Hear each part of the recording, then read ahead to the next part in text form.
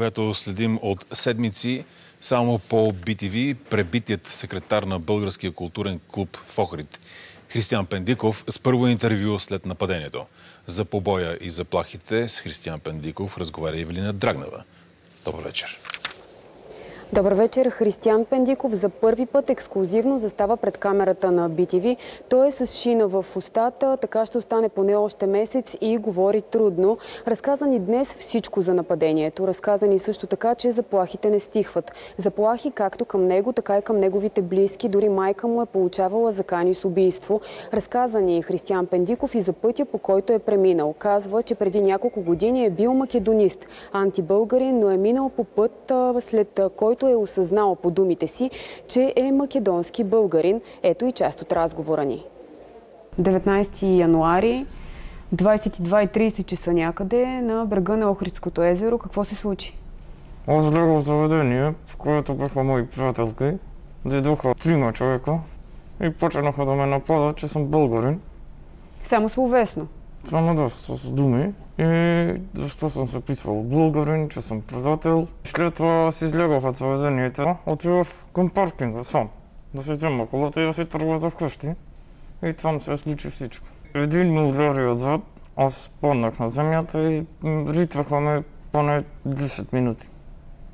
Как те удари отзад? С какво? М- мисля, че беше с ръка, с букс. В главата или? В ротния предел тук където имаме изчупени пръщени. Разказваш сякаш е нещо нормално. Еми, това за съжаление е нормално в Северна Македония.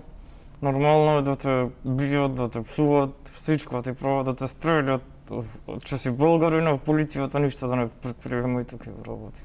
Каза македонски българин. Ти си македонски българин. Да. Да си македонски българин просто трябва да се осъзнаеш, че в Македония учиме някоя изменена фалшива история, където българите са фашисти и татарите днес е народ. И след читване на светски истории, и след читване за умора и какво е била историята, се осъзнах, че това е процес. Това никой не се са родил и е македонски българи. Преди това бил ли си настроен негативно към българите?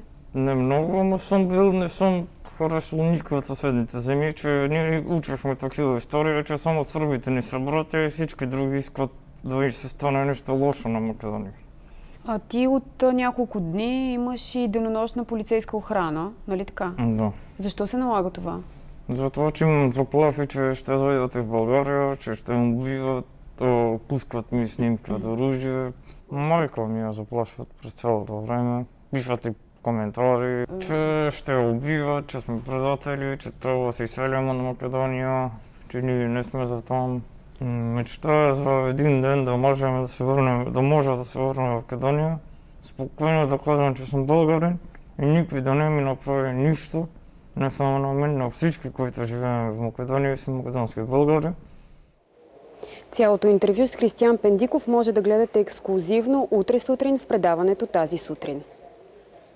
Ивелина Драгнева, благодарим ти.